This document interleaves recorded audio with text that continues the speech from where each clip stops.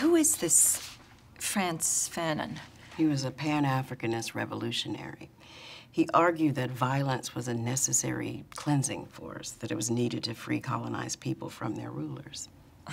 You, you teach this? I don't. Look, I won't pretend to know what it's like for Luce to confront certain aspects of who he is. And it's not within my purview to say what a boy who spent his first 10 years in Eritrea. Right.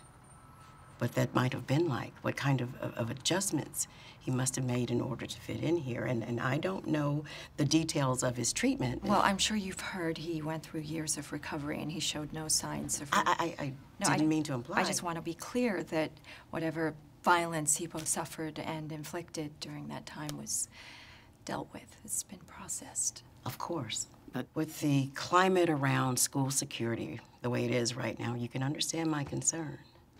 Yes. Which is why I felt I needed to search his locker. I'm sorry. Amy. He wrote a paper. A paper in which he describes his belief that the solution to a political problem is to gun down those with whom you disagree. Right, but he was assuming a character. The assignment called for this, and you... I found this in his locker.